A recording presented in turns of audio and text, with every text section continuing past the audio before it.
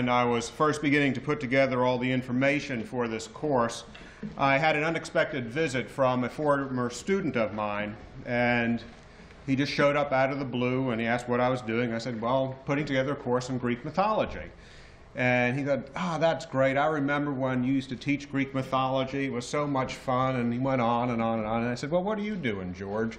He said, well, I'm working for one of the local papers here in town. And I said, well, what kind of things are you writing about? And he said, well, the crime scene, basically. And he lamented that he was now out of the university and had to work.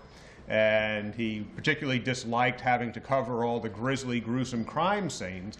And George was going on about how great it was way back when, when he just, as a student, had all the leisure in the world to study Greek mythology. So sublime, so beautiful, so peaceful. And we made good times even better each time we talked about it. And finally he left and got back to doing my work. And I thought, well, poor George, he's out there in the real world. And here I get to study beautiful things in Greek mythology. And I started looking over the myths that I was going to be bringing up in class and started cat cataloging the beauty of Greek mythology. We'll be studying in this class homicide, patricide, matricide, fratricide, infanticide, gluttony, drunkenness, lust, incest, sodomy, adultery, fornication, rape, bestiality, necromancy, revenge, deceit, war, treason, betrayal, avarice, cowardice, cruelty, castration, mutilation, theft, cannibalism, and outright dishonesty. so welcome to the beautiful world of Greek mythology. Before we begin a study of the Greek myth, we really should sit down and define what we mean by a myth.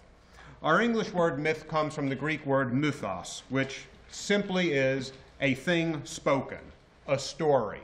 It could be a long story, it could be a statement, a command. The modern connotation that most European languages have when they use the word myth is that the thing that is said or spoken is false. When the ancient Greeks talked about their mythology, what they meant by that word was their religion and their history.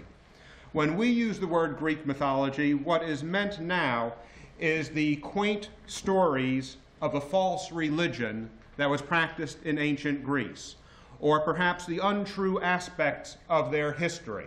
For instance, many a professor will give a student an assignment to separate what is fact from what is myth with regard to something like the Trojan War. The connotation is that mythology, the myth, is something which is not true.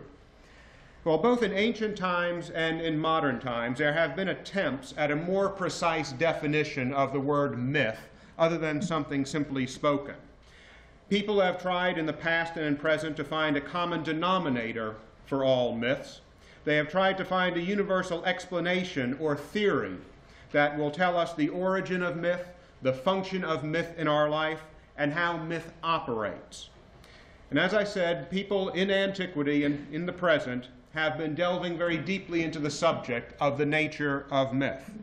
And as we'll see, that in ancient and modern times, much of the same thing is being rehashed. Many of the ancient theories have merely resurfaced in modern times under a different name.